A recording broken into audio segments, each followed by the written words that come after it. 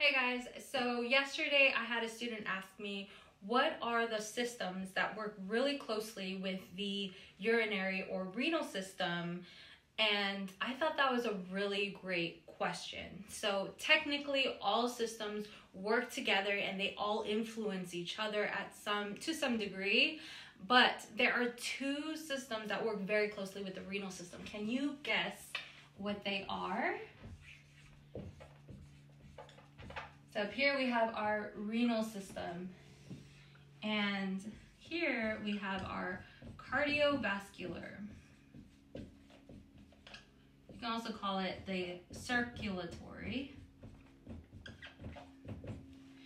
And remember, our cardiovascular is referring to the heart and all of the blood vessels. And over here, we have the endocrine system. These three systems are closely related because they all help regulate, can you guess what?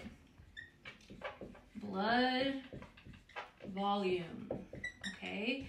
And what does blood volume influence? It influences blood pressure.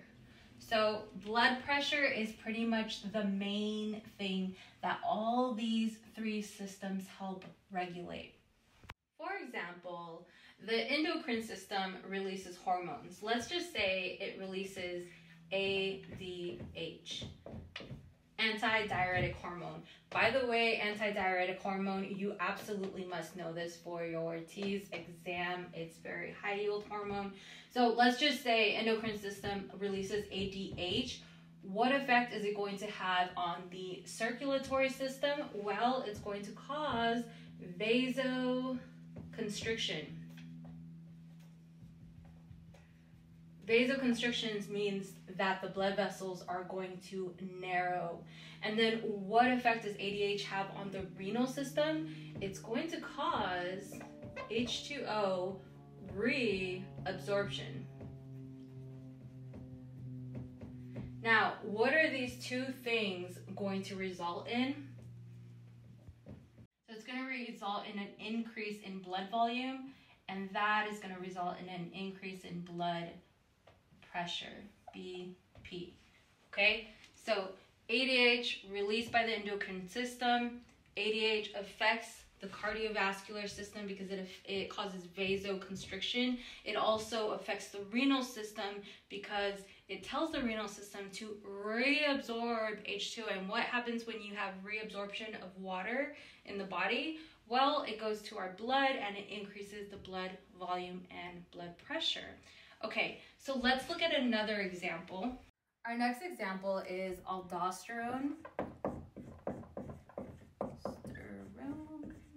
So our aldosterone is released by the adrenal glands. Remember that those sit right on top of your kidneys, adrenal glands. Okay, so when aldosterone is released, it affects the circulatory system because it also causes vasoconstriction.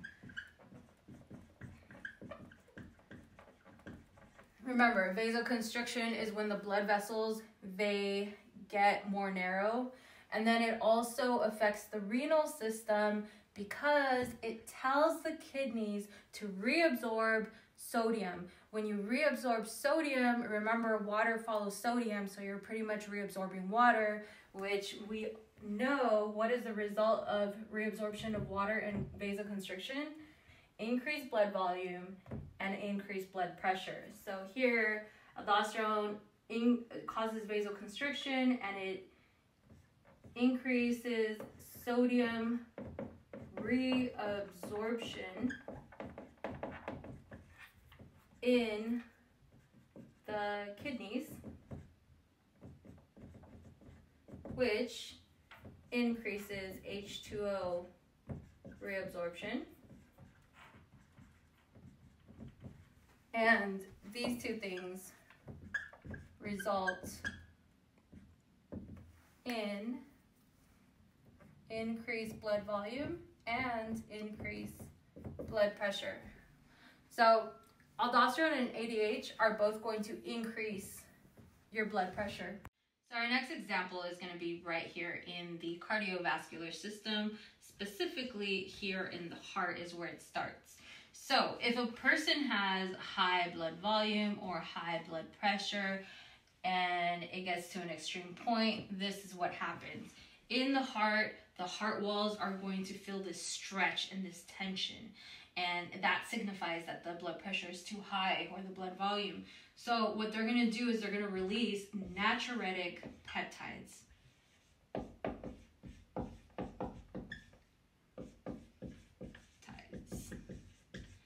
Okay, now there are specific natriuretic peptides.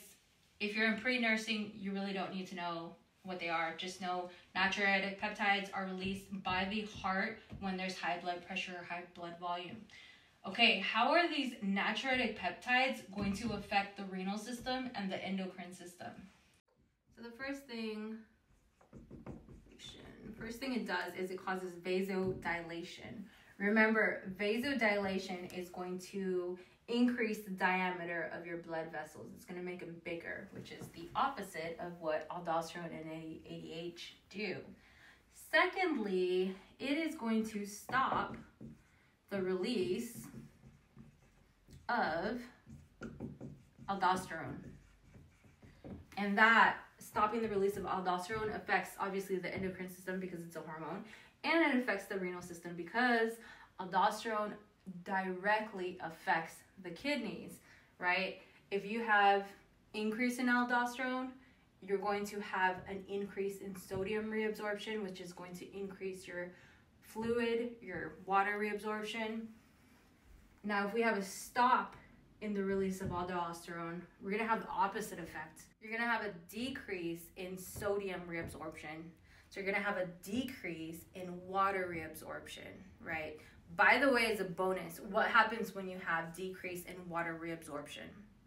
You have an increase in urine production or an increase in urine output, right? So that's what's going to happen here. Natriuretic peptide is triggered by an increase in blood volume and an increase in blood pressure. Okay? Now, aldosterone and ADH are triggered by a decrease in blood volume and a decrease in blood pressure. Both of these work to increase blood volume, increase blood pressure. Okay, so they're basically doing the opposite of this. And I should write over here.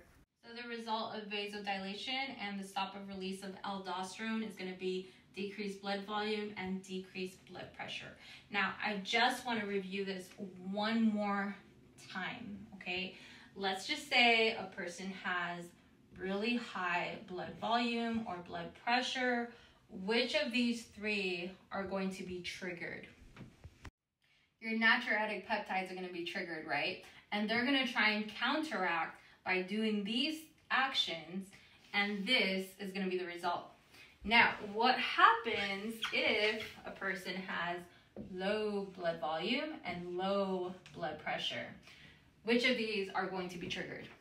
Your aldosterone and your ADH are going to be triggered and they're going to try and counteract this by doing vasoconstriction and by doing H2O reabsorption and they're going to result in a higher BV blood volume and a higher BP blood pressure. By the way, um, I just want to say one more thing. A lot of people are like, why would you want to increase blood pressure? Aren't we always trying to decrease blood pressure? Isn't, you know, too high blood pressure like a bad thing? Well, the reason why is people who go through, let's just say, severe, I'm gonna put severe because not just normal dehydration, but severe dehydration can have a low blood volume. Another one is trauma. So let's just say someone has an amputation or a gunshot wound or something. Um, yeah, they're going to lose a lot of blood. So we could say blood loss. So some trauma to the body causing major blood loss can cause a decrease in blood volume and blood pressure. So that pretty much wraps it up. Um, as far as the TEAS exam goes, if you're here for that, you have to know the the um, connection between renal system, endocrine system, and cardiovascular system. You absolutely have to know ADH. Um, secondary, you want to know aldosterone and maybe want to know natriuretic peptides And if you are entering nursing school or you're in nursing school, absolutely it's a must. You have to know this like triangle right here. Know the connections between this. And blood pressure regulation pretty much affects everything in your body, so very important. All right, thanks for sticking around, you guys. I hope you learned something new. Until next time.